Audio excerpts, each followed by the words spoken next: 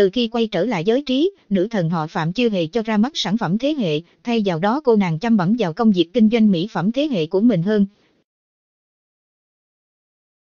Thậm chí, sau khi chia tay Lý Thần, có thể nói Phạm Băng Băng dường như trở nên bí mật tiếng trong chuyện tình cảm hơn. Thế nhưng thế hệ đây, có netizen đã nắm gặp hình ảnh cô nàng cùng người con trai lạ đi buôn bán tại Nhật Bản.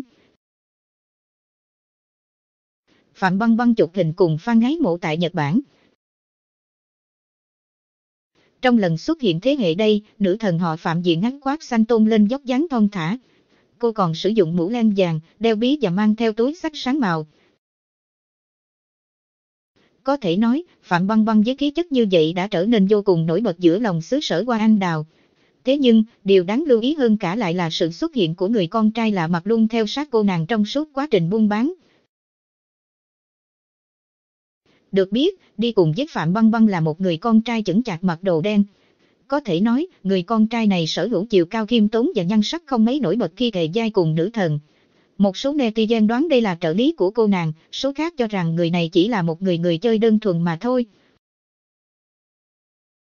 Người con trai này được cho rằng vô cùng ân cần đến Phạm Băng Băng khi anh chàng không chấm dứt cùng cô chọn đồ, đợi cô xếp hàng, thậm chí còn không kinh nắm đồ hộ cô. 梦生物